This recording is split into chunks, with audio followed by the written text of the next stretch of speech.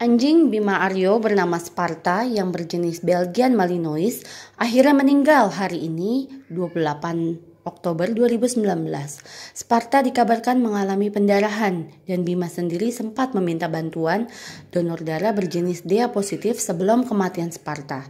Namun tak lama setelah Bima mengunggah statusnya, Sparta dikabarkan mati. Bima Aryo merupakan presenter, juga selebgram dengan lebih dari 166 ribu follower.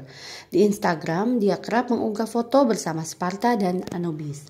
Kedua anjing tersebut memiliki akun Instagram sendiri. Bima juga memiliki channel YouTube bernama The Golden Family dengan 1 juta subscriber dan sudah membuat hampir 300 video tentang 9 anjing dan 2 kucingnya. Pecinta anjing ini bertempat tinggal di Langgar, Cipayung Setu, Jakarta Timur.